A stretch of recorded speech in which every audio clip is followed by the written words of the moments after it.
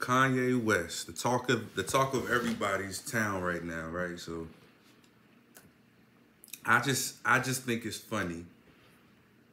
And I've been saying this because I've been canceled Kanye. I don't care about Kanye, but I just think it's funny how people people never see there are people who don't see Kanye as being wrong and they think he's funny. They think what he's doing is funny until the joke is on them. It's funny until the joke is on you. The joke is always funny until it's on you. Then as soon as he offends you, now it's time to cancel Kanye. It's time to, you know, get rid of Kanye, XYZ.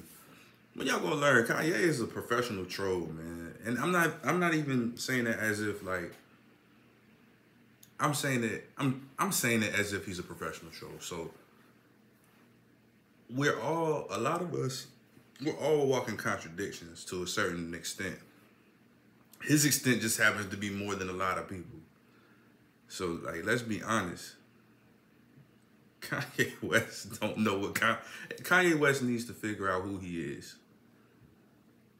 I'm not trying to psychoanalyze him because I do think that he said, like, I saw the interview that Nore did, that Drink Champs did and I felt like Kanye hit a lot of nails on the head. Like he makes a lot of good points, but he tends to pontificate a lot and he tends to conflate shit. So like he'll make good points, then turn around and make bad points right behind it. He'll make a good point, good point, bad point, bad point, bad point, good point, bad point, good point, good point, bad point. It's just it's crazy, but I don't. I mean, he's a human, so that's what we a lot of us tend to do. We're not everybody can't shoot like Steph Curry, bro. Like at some points we're gonna shoot bricks. Sometimes we shoot air, shoot air balls. Sometimes we shoot bricks. Sometimes we shoot air balls. It's it's life, and so that's why I don't look at Kanye in a negative light, um, so to speak. I mean, I look at him like some of his rhetoric is counterproductive to the progress in society. Like that's true, but he also has rhetoric that is progressive to society. So at the end of the day, that brother needs therapy. I mean, we all need therapy, but he needs therapy though. Like he really needs therapy. So I hope he gets some. And I wish that brother well. At the end of the day, I don't want, I don't, I don't wish ill on anybody for real. Mm, that's not true.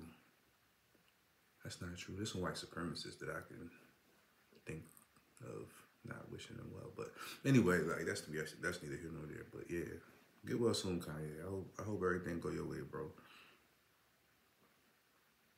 It's funny until the joke is on you. Always keep that in your mind. The joke is always funny until the joke is on you. It's always the joke is always funny until the joke is on you. Right? Peace and love. Ah. To empower yourself and don't hmm. need them and do it yourself. How, Sway? Take a few steps back to go. You ain't got the answers, man. Was he right? You know what? I will go ahead and say Sway had the answer.